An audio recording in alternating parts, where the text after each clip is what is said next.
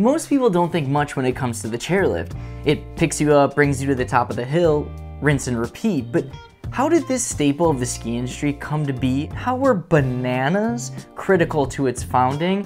And how is all of this related to Midwest skiing? Let's talk about some chairlift history.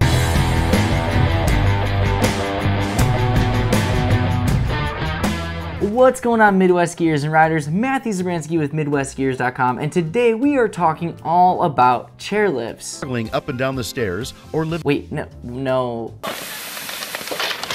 Much better. Now before we dive into the story of how the chairlift was founded, it's important that we set the stage of what the environment looked like at the time. The year was 1936 and skiing in the United States was still in its infancy stage.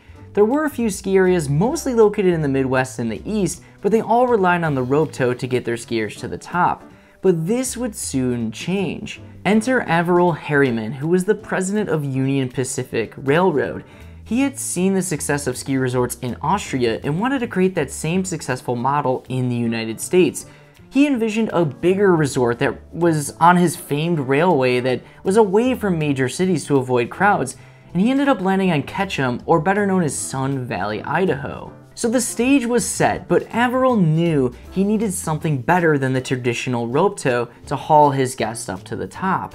So he set up a meeting with Jim Curran.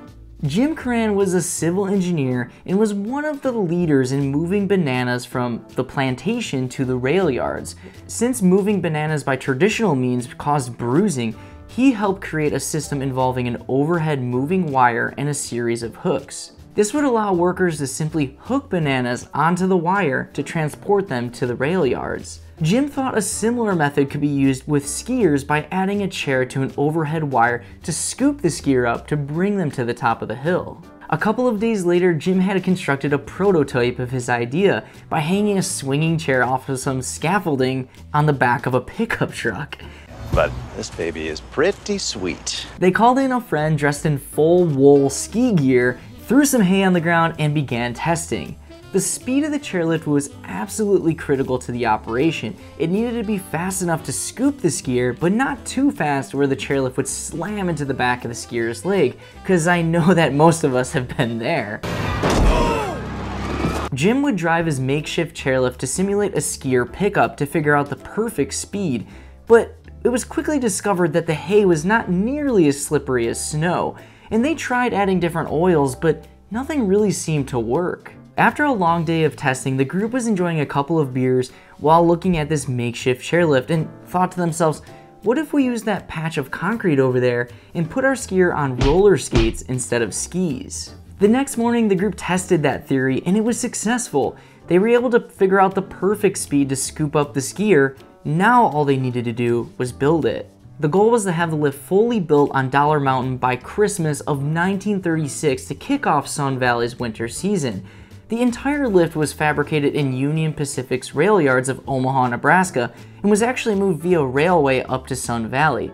And since there were no bulldozers that could carry the weight of the cable they used for their lift, they had to use over 30 mules to carry the first chairlift cable up the mountain for install. Ultimately, they met their goal and finished the entire lift project in less than five months. Pretty dang impressive if you ask me. The only problem was, Sun Valley didn't get any snow until February 2nd, and despite the delayed opening, riders were still treated with the first chairlift rides in skiing history. So okay, okay, you're probably wondering how all of this connects to Midwest skiing. Well, that same chairlift several years later would be sold to Boyne Mountain in Michigan in 1947, and with Boyne's opening in 1948, it would become the first chairlift ever in the Midwest. In fact, that chairlift still remains in operation today, sort of. Next time you're at Boyne Mountain, be sure to take a ride on the Hemlock Lift. Although the lift has been upgraded over the years by Riblet, the terminals and the drive are still the original, so although you're not riding on the exact same lift they built in 1936, and trust me, you'll be happy you're not. It's a classic! It's still quite the historical experience, and I think it's a pretty amazing feat that Boyne was able to keep some of the original parts through all these years of renovations. And speaking from the Midwest ski community, thank you Boyne Mountain. So next time you're preparing for your big ski day, grab a banana and think of Jim Curran because without them, skiing might not be the same.